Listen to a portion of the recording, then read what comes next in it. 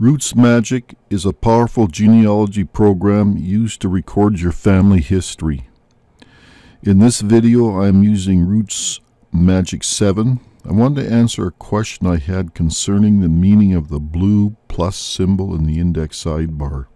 The index sidebar of RootsMagic, I've got two individuals loaded into this database, Jane Bell and Miles Campbell. So let me explain the blue plus symbol and how to add that in your database or you may have it in your database and you're wondering what is this blue plus symbol. Let's take a look at this. I'll double click Jane Bell.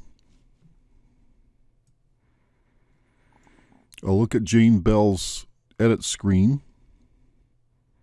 I'm going to add a fact. I'm going to come down to alternate name, select alternate name. Jane Bell is now married to Miles Campbell. So her surname is now Campbell. Come over to name type and select married because that's now her alternate name. Click on Save, alternate name, Jane Campbell, married.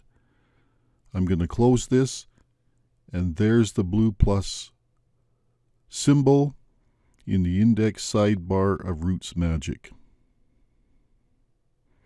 I trust this video has answered your question and explained what the blue plus symbol is in the index sidebar of RootsMagic. Have a great day.